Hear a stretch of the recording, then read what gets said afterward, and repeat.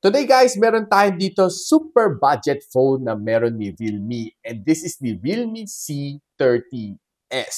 And this one is being priced at around 4,699 and I'll be linking on the description box below. But before that, tingnan natin kung ano meron nga ba dito sa budget phone na ito. Simulan natin. So hi guys, ako pala si Richmond, Gadget Sidekick and welcome back to my channel. Realme C30s. And the box is very simple, just like the Realme C33. Eh, kailangan natin i-slide out the phone na ito just to be able to remove it. And this one has 5,000 mAh of battery, powerful na octa-core processor, 6.5-inch na full screen, and side fingerprint scanner.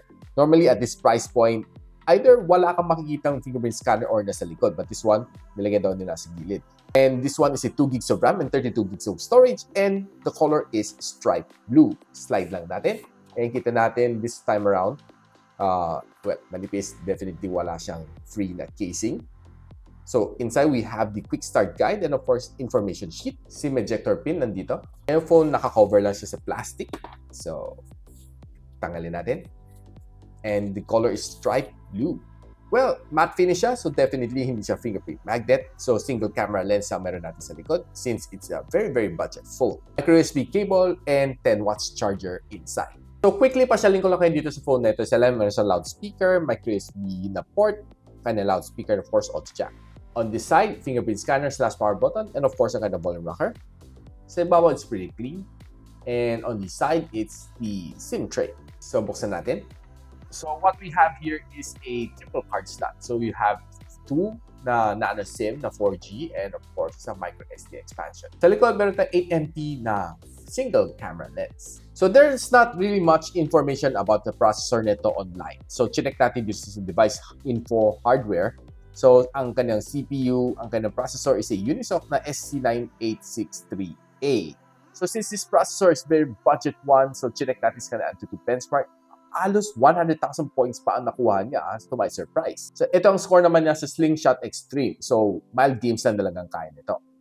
So ganito lang ang score din niya sa Geekbench. So medyo mababa lang. But well, if you're asking me sa kanya multitasking and on uh, day-to-day usage on social media, well, kaya-kaya naman niya. Wala namang game problema. Be it uh, shopping on Shopee, checking your Facebook account, watching TikTok, lahat naman kayang gawin dito sa phone na ito. Itong Realme C30s has a display size of 6.5-inch na IPS LCD, supporting up to 720p. Now, one of the things na napansin ko dito sa kanya is medyo makapal nga kanya baba sa ilalim. And of course, teardrop nuts pa siya. Well, I don't expect it to be a punch hole since it's a very budget-friendly one. And watching videos on this one is okay. Well, it can get me through any video binge watching dito sa YouTube. Kaya-kaya naman niya as far as uh, I'm concerned, this one, well, okay naman siya indoors, pero pagdating naman sa outdoors, medyo mahirapan ka nga lang under the bright sunlight. Browsing on your favorite social media, okay naman siya. But there are times na mafe-feel mo there's uh, some lags and a little bit sluggish siya mag-load sometimes. Pati sa Facebook, mapapansin mo, there are times na medyo nagiging sluggish siya. Para may lag siya. Ganito. And, well, not always naman. Siguro sometimes dahil sa bagal na internet. But, Well, kung naka-mobile data ko, ito ang napapansin ko. Medyo sluggish na lang talaga siya mag-load. Now, ito phone na ito has a capacity of 5,000 mAh and kaya na mag-support up to 10 watts na charging. And, well, charging from 10 to 100 takes roughly 3 hours just to complete the full cycle. So, medyo slow nga lang talaga. Now, one of the upside naman dito sa phone nito is medyo makuha naman ng battery. It can last you for 11 hours na screen on time based dito kay PC Mark na battery stress test. But uh, on a day-to-day usage, well, honestly, it was able to last me for two days on a normal usage. Like, well, halos purely social media and watching videos ang ginawa ko dito. Uh, hindi, hindi ko na hindi na ako nag-games dito dahil alam ko naman this phone wouldn't be able to give me those good gaming experience at the very least. Siguro, playing some mild games like yung mga Candy Crush, kaya-kaya naman niya. But playing ML, well, mainis ka lang siguro. Now, one of the things na gusto ko i-check dito is definitely ka ng camera. And nilabas ko naman tong phone na ito, was able to take some of these shots. Well, to my surprise, hindi naman siya ganun ka low class ang ganun mga camera shots.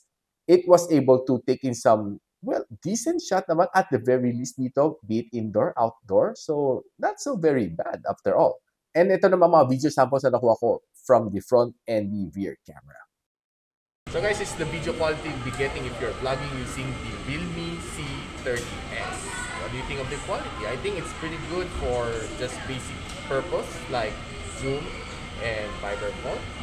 Comment on the comment section below.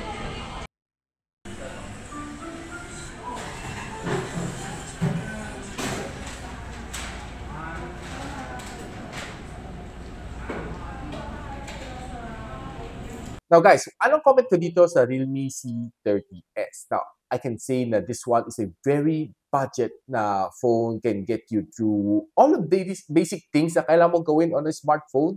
Uh, like call, uh, surf the net, uh, use it on social media, watch some videos, and take some quick, easy camera shots. But if you want a, well, a little bit more beefier one, I can suggest that you get the C33 from Realme. Better specs and well, better overall performance. But if you're tight with your budget, I think the C30S is not so bad enough. And so guys, if you want to know kung saan pwede mabili to, I'll be linking everything on the description box below. And if you like this video, don't forget to like, subscribe, and of course, click na rin yung bell icon para hindi nyo ma-miss mga future uploads dito sa aking channel. And so ako pala si Richmond and you're watching Gadget Sidekick. What's up?